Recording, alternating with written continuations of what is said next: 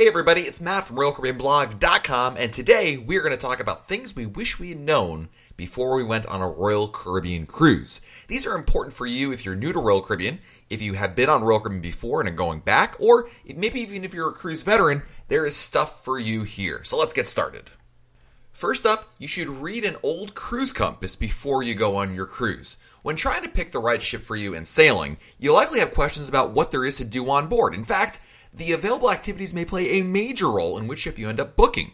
There's no way to know in absolute terms what your upcoming Royal Caribbean cruise will or will not offer because, frankly, Royal Caribbean does not publish its activities or entertainment schedule in advance. But what you can do to learn about what to expect on your sailing is to consult a past cruise compass to see what was available on those similar sailings. A cruise compass is Royal Caribbean's daily newspaper that's distributed to guests on each day of the cruise.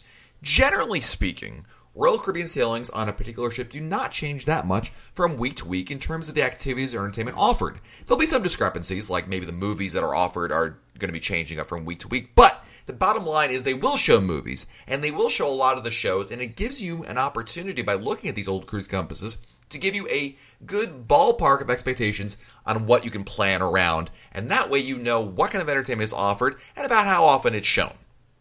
Next, you're going to want to definitely pre purchase some of the things before your cruise because it's going to save you a lot of money. Royal Caribbean offers a lot of packages these days, and you know whether it's a drink package or an internet package or a dining package they're all really tempting but a lot of folks don't take the opportunity to buy them before the cruise and besides being able to split up total cost of your cruise if you pre-purchase it before your cruise it will save you money because oftentimes royal caribbean offers a discount if you purchase select pre-cruise purchases instead of waiting to book them on board the ship. Not only is it going to save you money by pre-purchasing, it's also going to save you time because you're not going to be taking time once on board the ship to stand in line and book it. Now there's a variety of packages that are offered. First and foremost, the unlimited drink packages, the beverage packages. Royal Caribbean offers a lot of great drink package options to guests, and it's really, really popular. In fact, a lot of people love them. And by purchasing before your cruise, there is going to be a pre-cruise discount in almost every situation that we've seen. The exact discount amount, uh, as well as the ex- exact drink package price that you start off with, will vary from ship to ship and sailing to sailing. If you're new to Royal Caribbean or a gold member in the Crown and Anchor Society, you're almost always better off financially to pre purchase the drink package before your cruise instead of buying it on board the ship. It should be noted that if you are a member of Royal Caribbean's customer loyalty program, Crown and Anchor Society, you are entitled to onboard discounts that cannot be combined with pre cruise discounts. So if you're wondering if it's more lucrative to wait to buy on board with your Crown and Anchor discount, it depends on your status level and what discount you're seeing online. Generally speaking, if you're Diamond Plus or Pinnacle, waiting to purchase on board is a good idea. But Diamond members, it's more of a wash financially, and Emerald and below will have definitely have a benefit by pre-purchasing. In terms of internet packages, just like the drink packages, Royal Caribbean offers a discount to internet package purchased before the cruise. These packages are good for the duration of your cruise and are limited per device, not per person. So, what that means is you can actually share the internet packages among your friends and family. It's just you're purchasing how many devices can be logged in at one particular time. So, if you and your spouse want to use one device package, basically one of you has to log in you know, to use it, and then when you're done, log out and let the other person log in with that device. And this is unlimited devices. You can bring your iPad, your iPhone, your Kindle, and all any other devices that use the internet just keep in mind that you're limited by how many devices can be logged in at one particular time. Now, just like the drink packages, Royal Caribbean offers a discount on its internet packages to returning guests. The amount varies depends on your credit Anchor society level, but Emerald and below should consider pre-purchasing. Now, in terms of dining packages, there is not usually a discount offered on dining packages, so deciding to pre-purchase a dining package or waiting until you're getting on board the ship largely depends on how important it is to you to break up the total cost of the cruise. By pre purchasing a dining package online, you'll avoid having the cost on your end of the cruise bill. Financial flexibility is always a really nice perk. When it comes to individual specialty restaurants, in general, the price of a specialty restaurant online is the same as on board. The exception is when Royal Caribbean runs a cruise planner sale, in which case pre booking a specialty restaurant online is usually cheaper. Ultimately, the decision to pre purchase a specialty restaurant or not depends on how important these two factors are to you. Number one, your desire to pre purchase and break up the total cost of your cruise. And number two, your desire to dine at a specific restaurant at a specific date or time.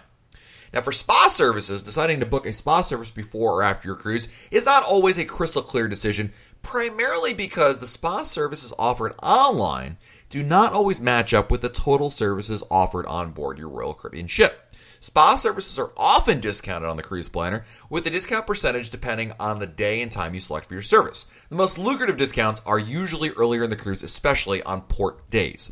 The challenge in figuring out whether to purchase or not purchase a spa service before your cruise is each day of your cruise will have some spa special offered on board the ship. These spa specials are usually combination offers, which are not offered as an option in the cruise planner before the cruise. In my experience, the Cruise Planner offers individual services, which are good for those that just want a massage, or just want a service, or just want a therapy.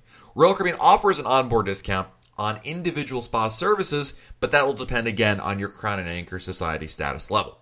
For shore excursions, any pre cruise discounts manifest themselves during a pre cruise planner sale most often. Outside of a sale, the price of a Royal Caribbean shore excursion is often the same online or on board.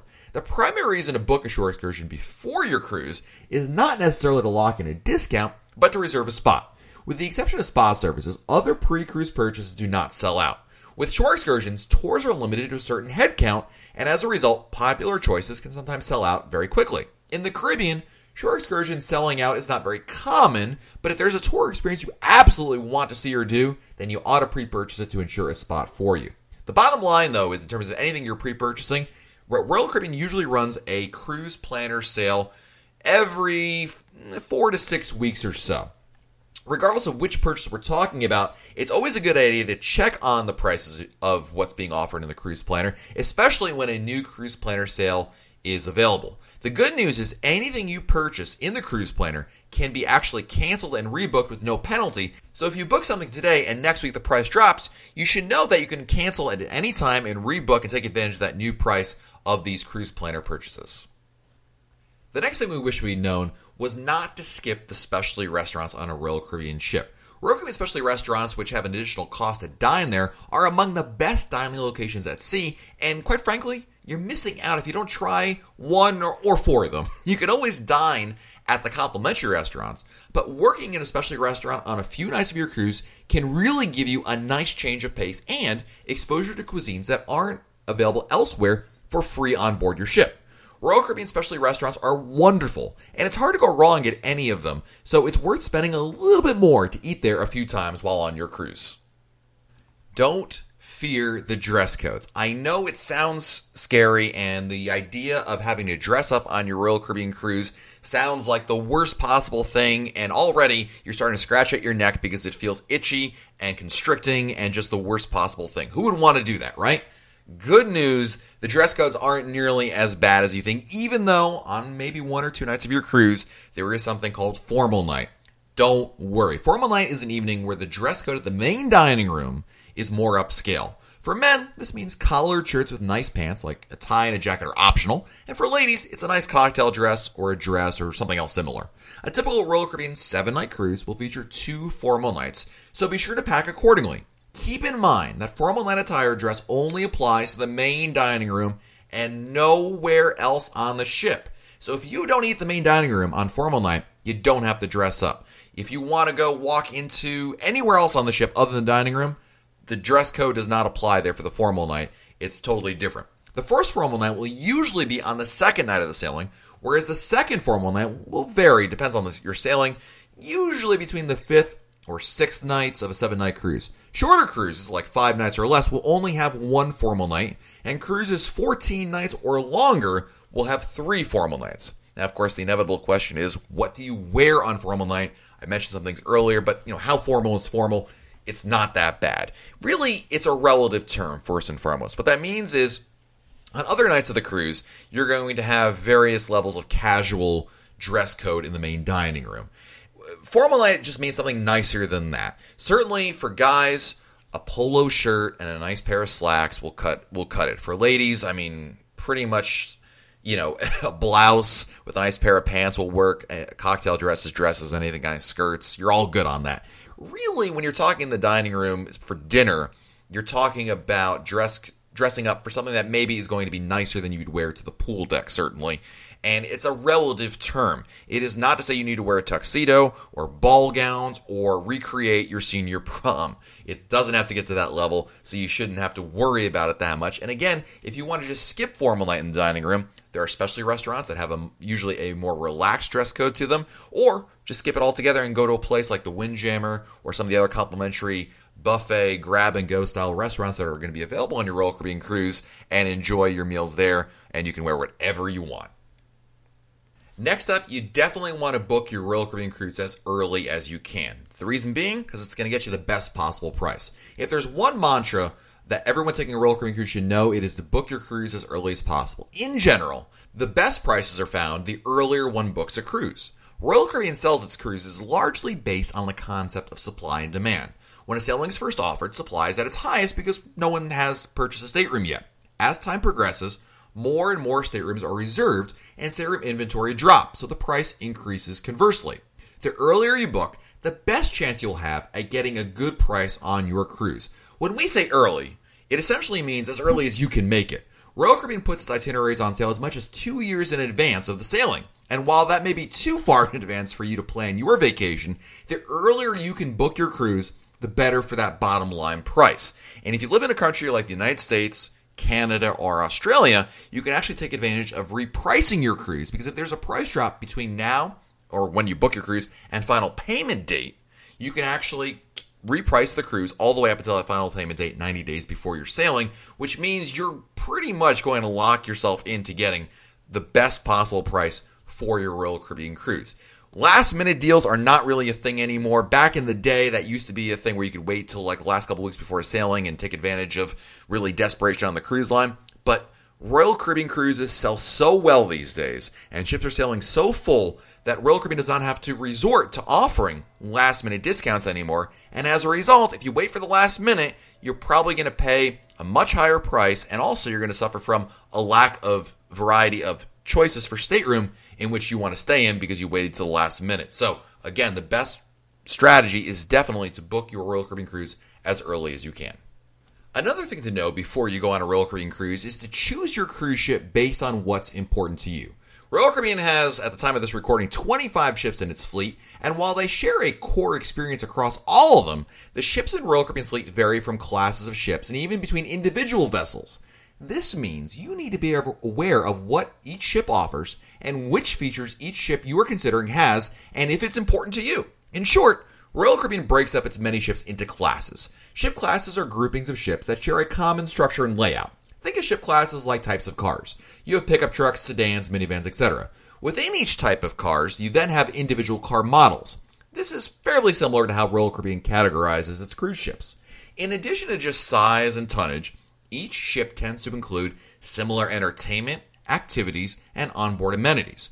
What you want to do is think about which features you want to have on your cruise ship and then see if that class has what you want. If water slides are important, then an Oasis or Freedom class ship might be a good pick. But if you want a nursery, then skip Majesty of the Seas. Again, uh, using a good travel agent can greatly assist with narrowing down the choices for you.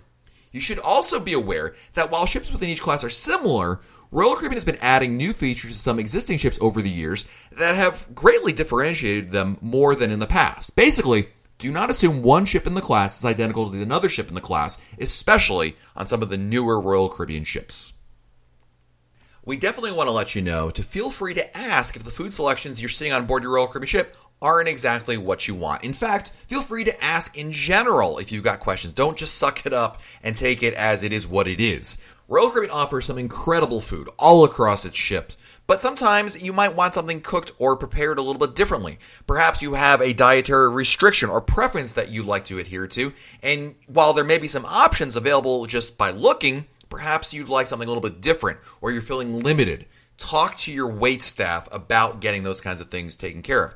Generally speaking, as long as Caribbean has the ingredients and you make your request in advance, they can absolutely accommodate so many different requests, whether it's just something prepared slightly differently or again adhering to a dietary restriction. Really, the name of the game is to ask. Now, one of the things you want to do is definitely give yourself enough time. Don't show up to the meal you want to eat at and then make the request. What you want to do, actually, in, in ideally, is give the wait staff at least 24 hour notice. So certainly on the first day of your cruise, talk to your head waiter and tell them, you know, about the kind of dietary restrictions or kind of foods you're interested in doing. Sometimes they may be able to point out to you options that exist that are going to be off, you know, of the bat that are available to you. Otherwise, they can definitely make the request, and if they have the ingredients, and it's not too complicated, they'll absolutely be able to accommodate you. And this can be even something just kind of foods that you enjoy. As an example, I love Indian curry. I don't have a specific dietary restriction that makes me eat that way, but I always request it in the main dining room on my Royal Caribbean ships, and they're happy to bring that. So definitely don't feel bashful or embarrassed to go in and ask for these kind of requests. They want to make you happy. They want you to have an awesome cruise and certainly never leave hungry. Another thing we really, really want to make sure you know is you don't need to get an unlimited drink package. A lot of people going on a Royal Caribbean cruise find the idea of getting a drink package quite attractive, primarily due to the convenience and potential value offered by the drink packages. However, a drink package is not an option for everyone, and there are some great alternatives to getting a drink package that will not break your budget while still allowing you to enjoy your favorite drinks on board.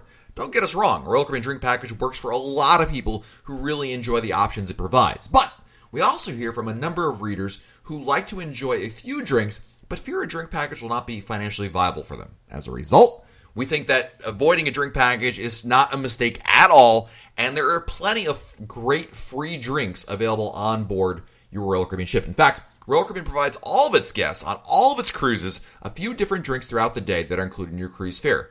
These drinks include tap water, milk, tea, coffee, as in regular and decaf, lemonade, iced tea, hot tea, flavored waters, juices at breakfast, not fresh squeezed, but out of a box, and hot chocolate via instant packets.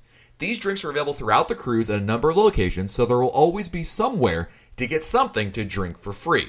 Now, if you're looking to avoid the drink package as a way to kind of save some money, but you still want to enjoy your drinks, couple strategies that really work. Number one, drink in port. You're going to be visiting a lot of places, and if you're going in the Caribbean or some other countries around the world where the cost of living is a bit lower than your home country, oftentimes you can find some great drink specials over in port. In fact, the port people know that they're competing against the cruise line for drinks. Oftentimes, you will find a lot of bars or vendors selling drinks at a much greater discount compared to the same kind of beverage on board your Royal Caribbean ship.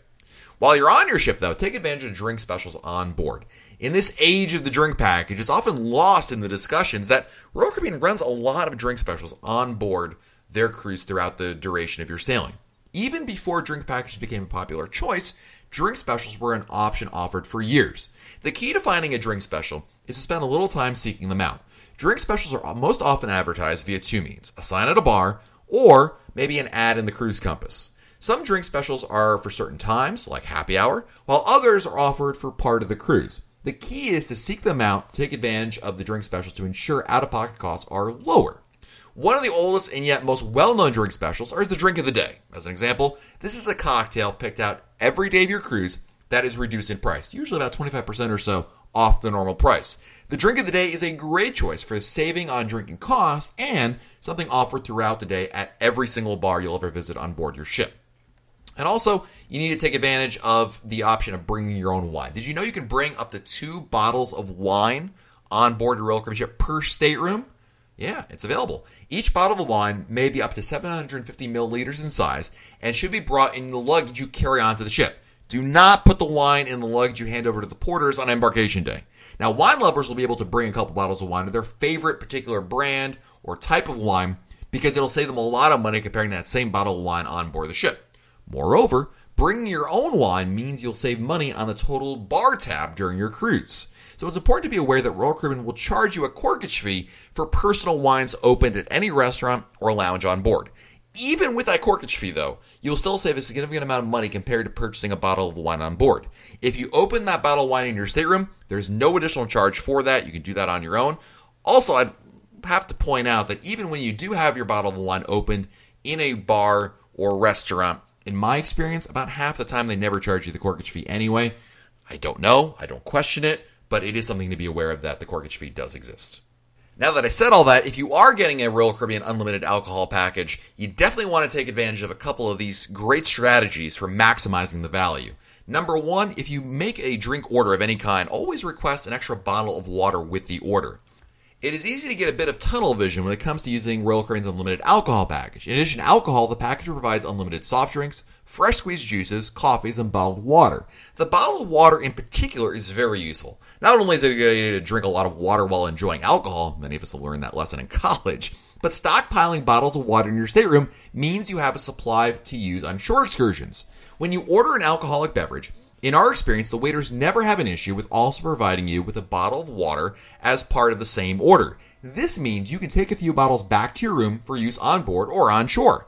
While you can always just order a bottle of water to bring on shore, having a small reserve of bottled water means you can easily grab as much as you need. This is very helpful with families or large groups. Also, when you bell up to that bar to order a drink, don't just ask for the drink itself, ask for the drink and specify the kind of liquor. So instead of saying, Can I please have a pina colada? mention a brand of rum to go in that pina colada or the type of vodka that you want to have in your martini.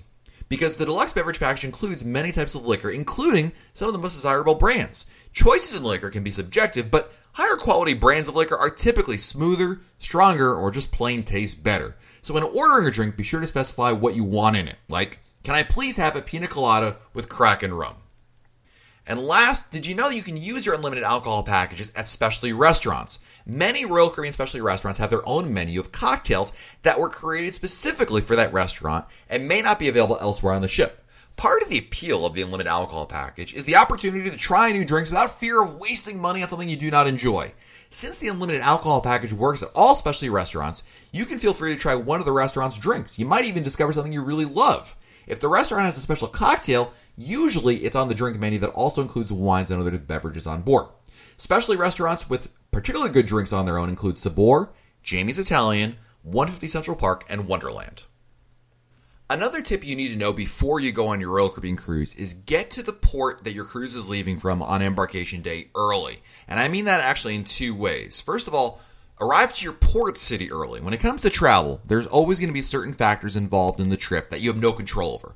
Weather, canceled flights, flat tires, getting sick. If you ask seasoned travelers how they get around these obstacles, the answer is often to give yourself more time.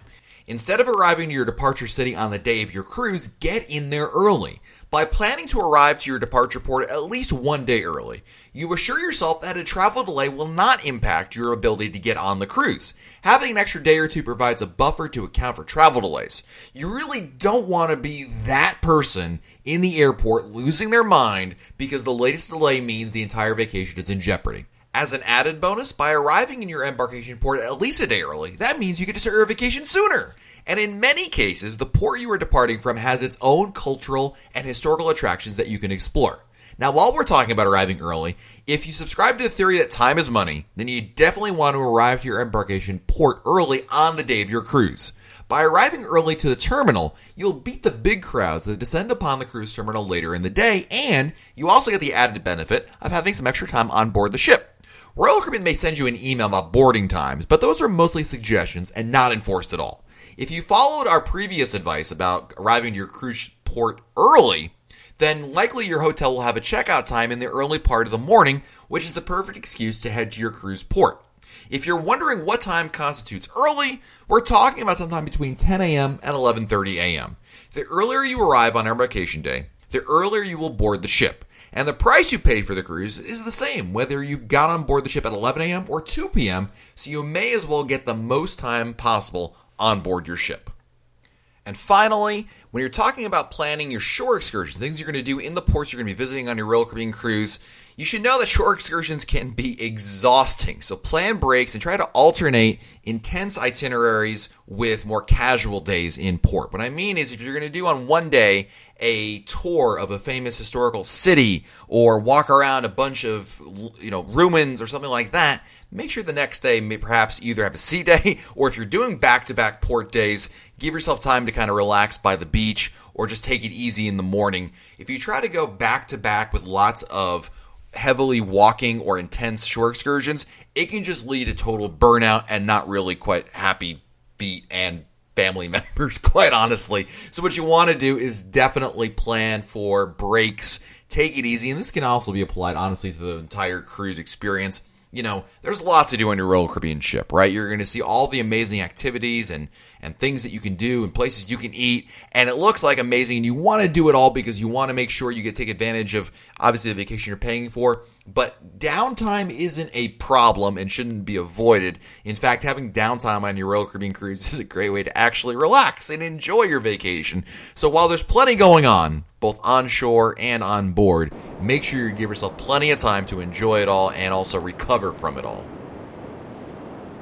So thanks for watching. I really appreciate you. Be sure to let us know in the comments what your tips are and what you wish you knew before you went on a Royal Caribbean cruise because people are really going to benefit from your notes in the comments. Please like this video if you enjoyed it and subscribe to our channel so you don't miss out on any of the great stuff in videos like this one. This has been Matt Hochberg from RoyalCaribbeanBlog.com and we'll talk again soon.